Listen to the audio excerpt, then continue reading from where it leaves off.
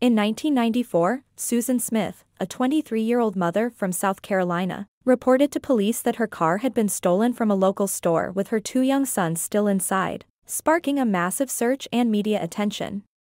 Smith tearfully pleaded for the return of her children, Michael, 3, and Alex, 14 months. But as the days went on, the story began to unravel.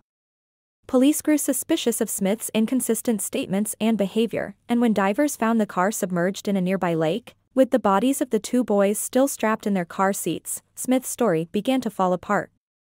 It was soon revealed that Smith had actually drowned her children herself before driving the car into the lake, and the carjacking story was just a cover-up. Smith was charged with two counts of murder and sentenced to life in prison without the possibility of parole. The case shocked the nation and left many wondering how a mother could commit such a horrific act against her own children.